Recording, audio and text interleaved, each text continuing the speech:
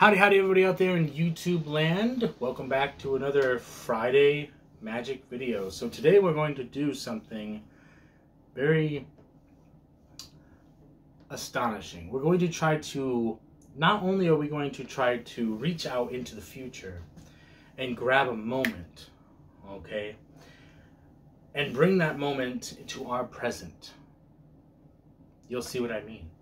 But then we're going to take it a step for, further and we're going to alter the timeline. And what do we need in order to do this? You guessed it, a deck of cards.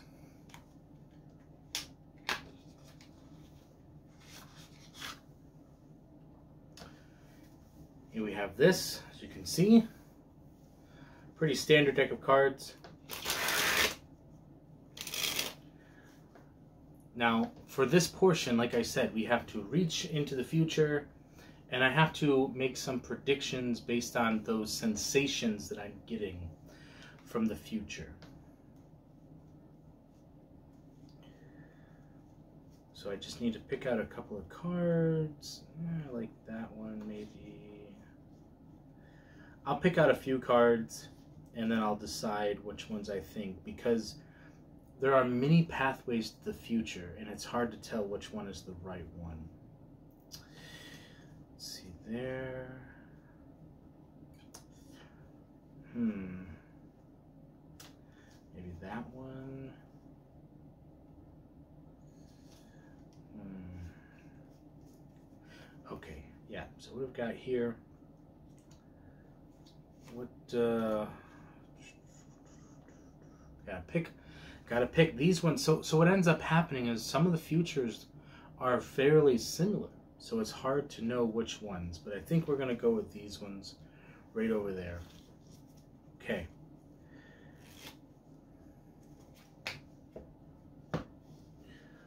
Now we shall attempt, as we come into the moment that I foreseen, foresaw,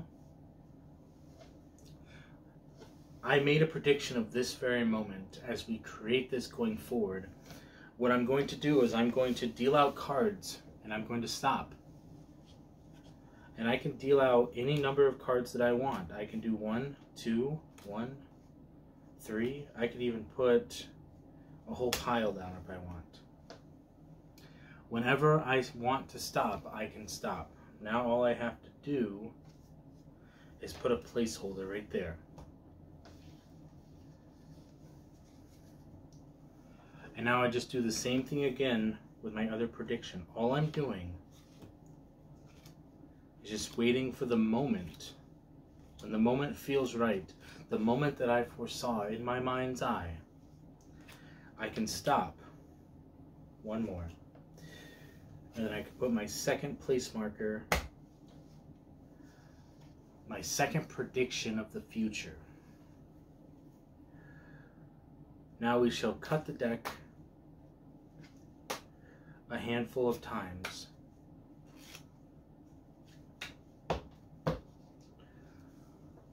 Beautiful.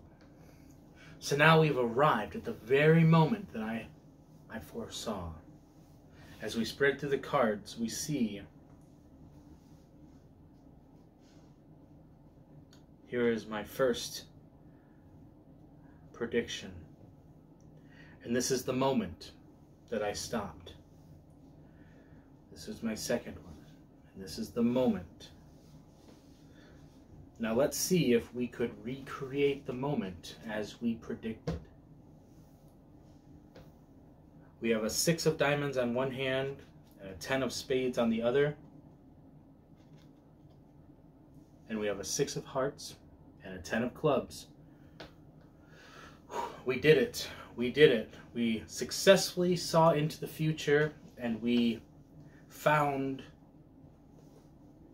the right predictions. Very good, very good. But as I said, what if we take it a step further and now we branch out into the multiverse? Now we're going to see those other variations of what we what we just created. And so let's take a look to see what that looks like.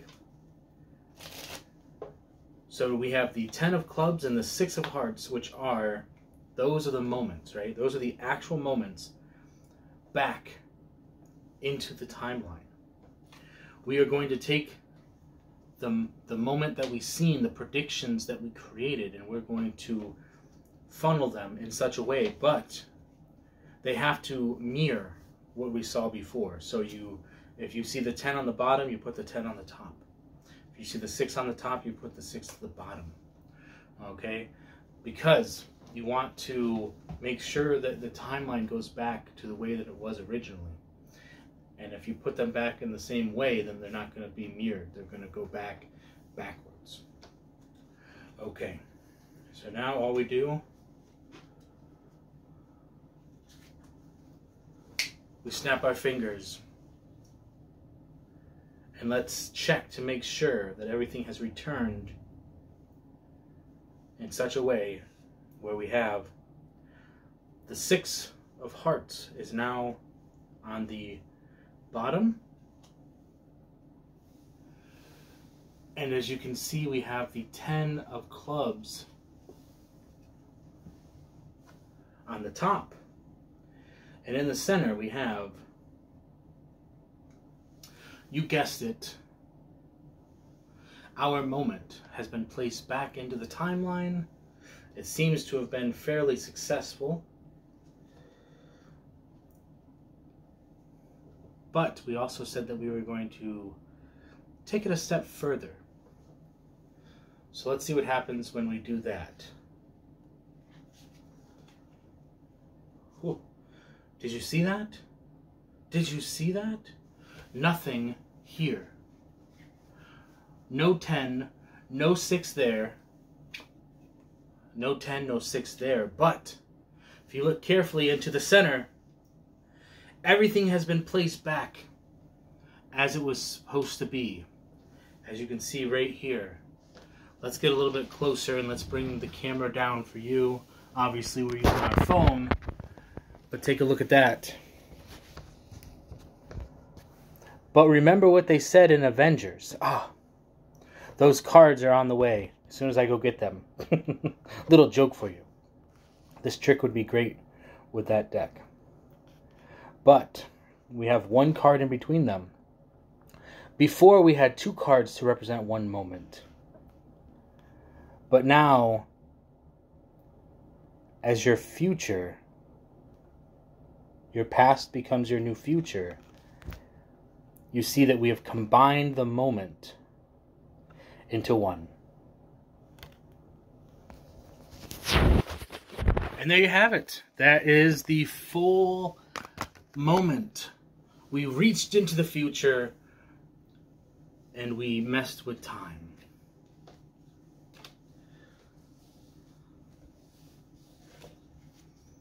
I hope you guys enjoyed. Let me know down below what I could do differently. Let me know what, what I could do better. Let me know what you like about all of that. A fairly, I, I worked, I worked. Um, let's let's talk about it a little bit because this is, as I've said before, if I put something together, I will teach you. Okay. But I'm not going to teach it in this video. And I'm guessing that for most of you that are watching, you could probably see what I did, and that's fine. But if you want to know how I came to the conclusions that I did, let me know and we'll talk about that in a different video. But what I want to talk about for this is the fact that yes, I did map this out. So let's talk a little bit about if we're creating a trick. Now I do have a video that I watched thanks to Scotty P. He sent me over. It was Alex Pandrea and a couple of his friends a couple years ago they created this whole gimmick thing and this whole trick thing, and it's fantastic. So I recommend checking it out, checking out Alex Pandrea, excuse me. But for this particular trick, yes, I mean there was, there I broke it down in such a way, and I and I tried to go almost like in real time. I tried to go frame by frame to fix anything that would be out of place, and I tried to map it out in such a way that made sense. The pattern is all made up on the spot. I I'm not like I might do scripts later on, but for the way that I feel about it is I just feel out the comedy and then I might use lines that feel right. And so as I'm doing this, if I do it over and over and over again, if I if I find something that feels right, I will then use that. But I'm not performing yet. But as far as that routine went, yeah, if you like it, if you want me to basically do a breakdown to show you every step of the way of the process, I will. I will break it down for you and then I will give a shout out to every single person that I learned the moves for to do that trick. So I hope you guys enjoyed and remember, stay positive, stay active, and stay awesome. And we'll see you in the next one.